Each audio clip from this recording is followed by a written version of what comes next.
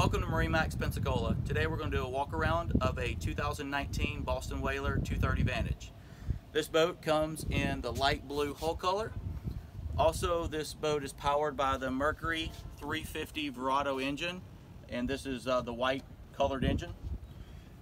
Coming into the boat, this has a rear transom bench seat which is really nice, large and roomy. This boat also has on the port side an adjustable seat.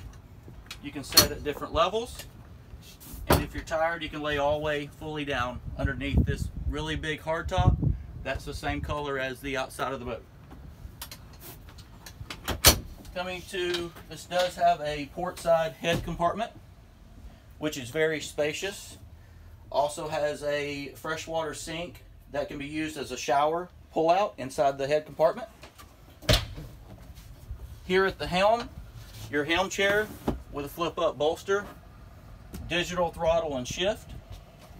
Does have a fusion stereo system with Bluetooth and you've got a big area you can mount uh, your electronics right here. Coming forward, you do have a bow block off door and you have very spacious seating up in the bow of the boat.